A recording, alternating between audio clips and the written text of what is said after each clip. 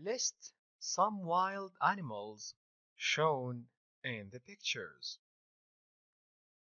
The objective is to list some wild animals shown in the pictures, like those wild animals. Look, wolf, wolf, elephant, elephant, penguin, penguin, hippo, hippo, crocodile, crocodile. Okay? Again, wolf, elephant, penguin, hippo, and crocodile. Now look and match. Look and match. Read, then you match, okay? Number one. This is an Arabian wolf. It's not very big. It has got a small head. It can run fast and swim too. Okay? So we are talking about this animal or this animal. Number two. This is a hippo. It has got a big mouth, but it can't talk.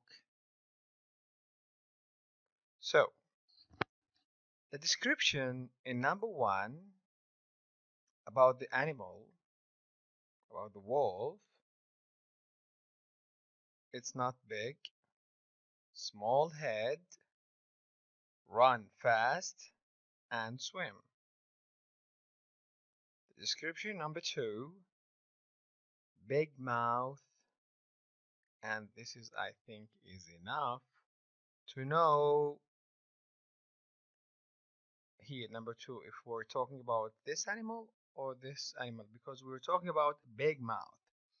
So the answers are the wolf this is the wolf and this is the hippo and the, the descriptions here.